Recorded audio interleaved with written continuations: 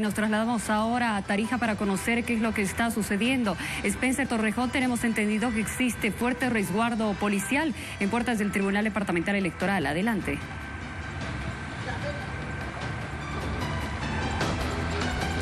Gracias. El panorama en la ciudad de Tarija no ha cambiado.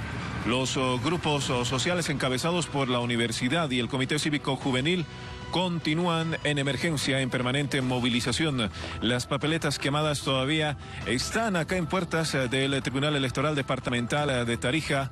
La policía está incrementando el número de efectivos para eh, la custodia de esta infraestructura.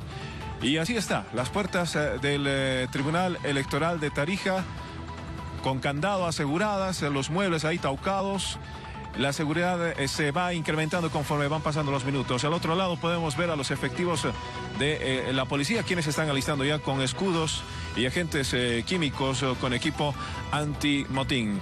Hoy se cumplió la primera jornada de paro indefinido en la ciudad de Tarija que fue contundente con bloqueos en diferentes zonas de la ciudad.